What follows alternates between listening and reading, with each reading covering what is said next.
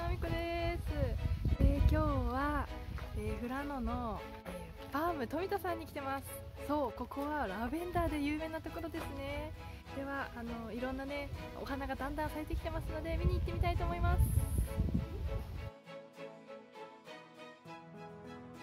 見てください。満開まではまだ一歩手前かなっていう感じはしますがすごいラベンダー綺麗に咲いてきてます。一面ラベンダーです。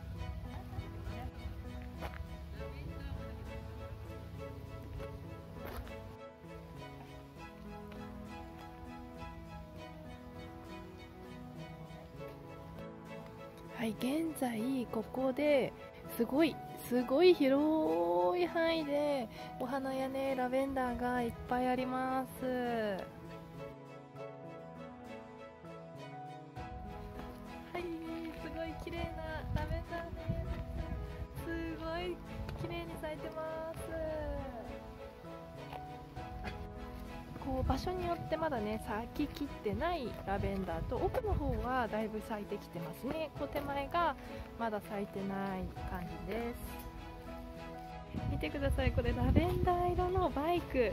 そしてねこれあのコーンとか一輪車とか全部紫色になってます。すごい面白いですね。ちらね。お花ですね。すごい綺麗に咲いてます。手入れされてますね。あ作業してます。綺麗です。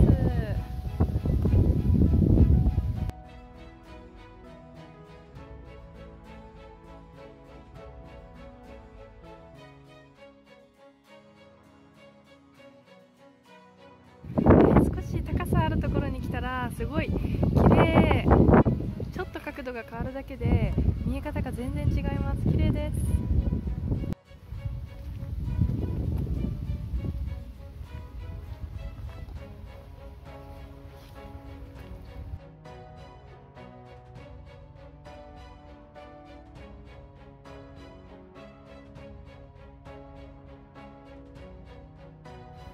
はい少しねあの上に登っていくとこがありますのでちょっと高いところに上がってこからのねとっても綺麗な眺めを見てみたいと思います。横にはねラベンダー。まだねちょっとつぼみが小さいですね。今ねだいぶ上まで上がってきたんですけれどこちらは、うん、ラベンダーとちょっとあラベンダーか？ちょっと違う品種かな。ねでまだねちょっと満開じゃないですねこちらは本当に。そうですねよく見たらなんかちょっとちょっとラベンダーとか違う種類があるのかな？なんか違う気がします。はいだいぶね上がってきました。見てくださいこれ。向こう景色すごいんですよ。ねえ。はあ綺麗ですね。ねラベンダーがもうちょっと咲いてると良かったんですけれどもちょっと残念です。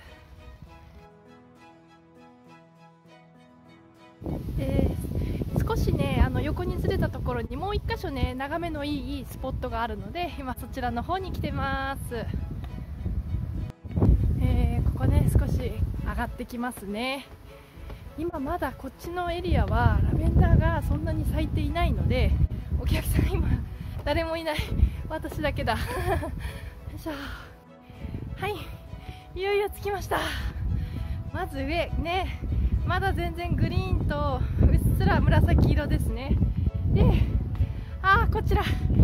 はい街の方ですね。こんな感じでもうちょっとですね。残念ながらまだ本当にうっすらラベンダーが咲いてきたかなっていうような感じですね。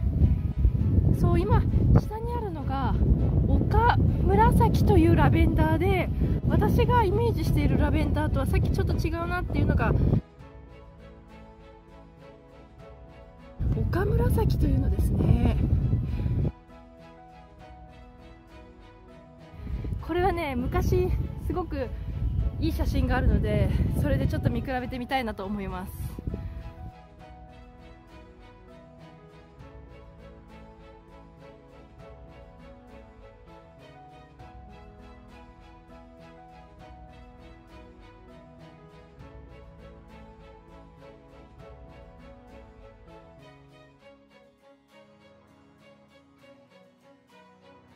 ちらも花がすごく綺麗に咲いてます。ねいろんな色が赤白黄色ピンクいろんな色あります。綺麗です。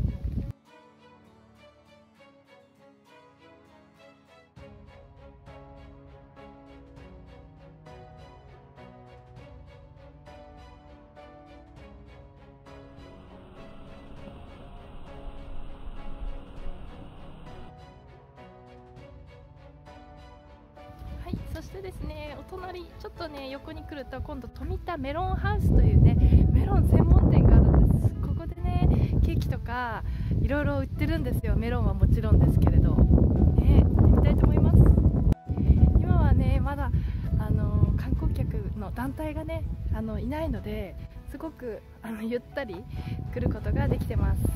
ね以前来た時はテラスとかあの席がびっしりでしたね。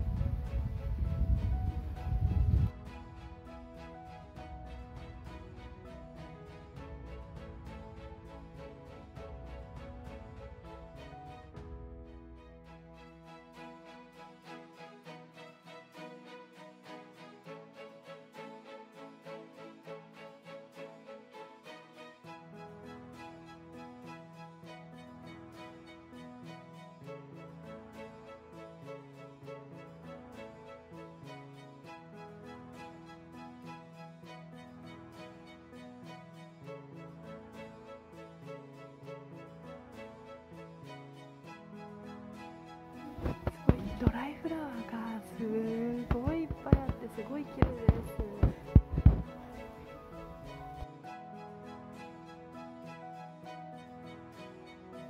ラベンダーのね商品がたくさんいろいろ並んでます。